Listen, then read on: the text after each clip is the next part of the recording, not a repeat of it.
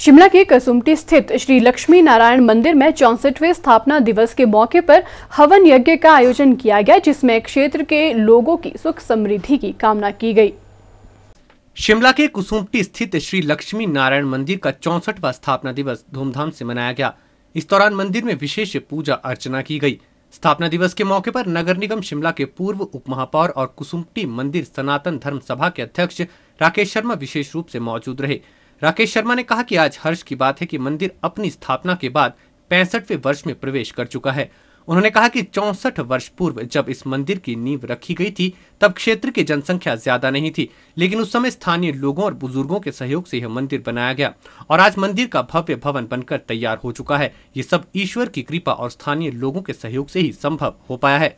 मंदिर का आज चौंसठवां वार्षिक उत्सव श्री लक्ष्मी नारायण जी का स्थापना दिवस आज यहाँ पे धूमधाम से मनाया जा रहा है। पिछले कल शिवरात्रि का जो महापर्व था, उसका सारा दिन कार्यक्रम चलता रहा। सुबह साढ़े चार बजे तक जो है चार पैर की पूजा के बाद अब हम आज इस आगामी कार्यक्रम की जो अभी तैयारी कर रहे हैं और ये हवन से कुछ क्षणों में हवन शुरू होने जा रहा है।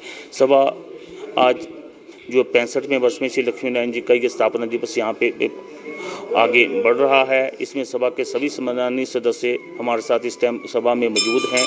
इसमें इस टाइम जो है हमारे वरिष्ठ एडवोकेट सुरेश चंद शर्मा जी भी आ चुके हैं और कमल नयन शर्मा जी जो हमारे पूर्व में प्रधान रहे हैं, सुदर्शन कुमार आज़ाद जी जो हमारे पूर्व प्रधान भी रहे हैं, ये भी इस टाइम मंदिर में मौजूद हैं।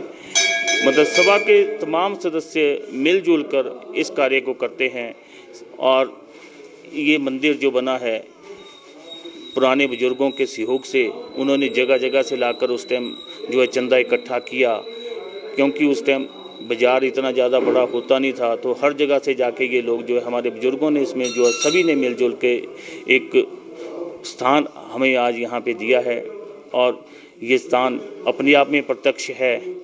यहाँ पे सच्चे मन से जो भी श्री लक्ष्मी नारायण जी के दरबार में आता है, उसकी मन की मुरादें लक्ष्मी लक्ष्मी नारायण जी हमेशा पूरी करते हैं। Bureau report, city channel, Shimla.